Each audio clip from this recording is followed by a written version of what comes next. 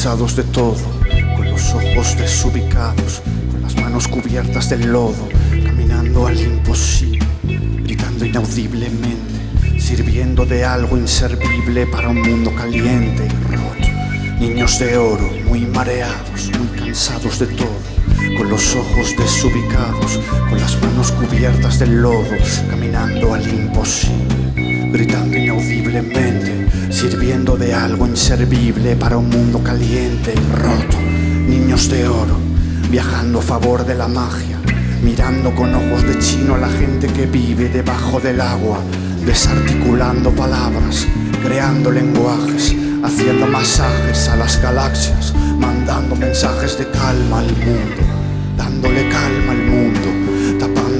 goteras y lágrimas, haciéndole pasar la página, pasar la página, pasar la página, nuevo capítulo, otro vehículo con el que nunca llegar al mundo de nunca jamás, al no lugar más profundo, no lugar, no lugar.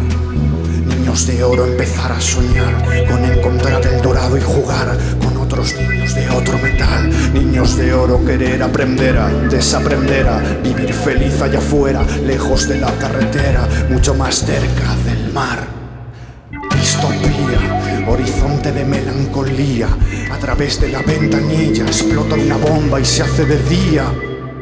Nubes rojas, va por detrás la tormenta eléctrica, el sentimiento de culpa, la mística, el fuego y el hambre, la pena y la ira.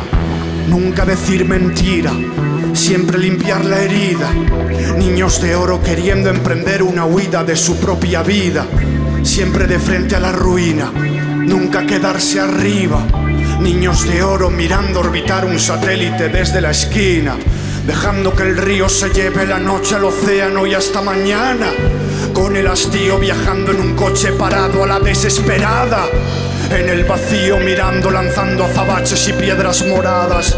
Niños haciéndose ricos en el país de la nada y dejando que el río se lleve la noche al océano y hasta mañana.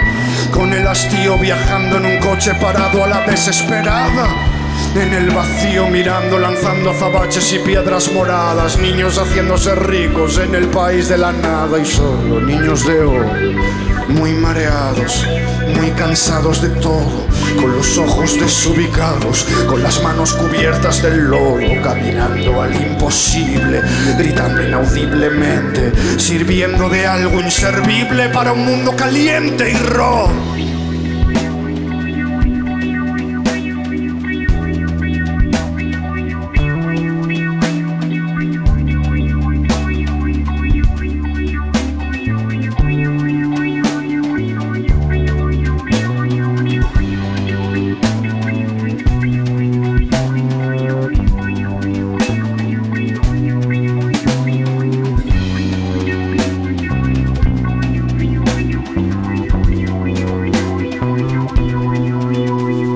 Muy mareados, muy cansados de todo, con los ojos desubicados, con las manos cubiertas del lodo, caminando al imposible,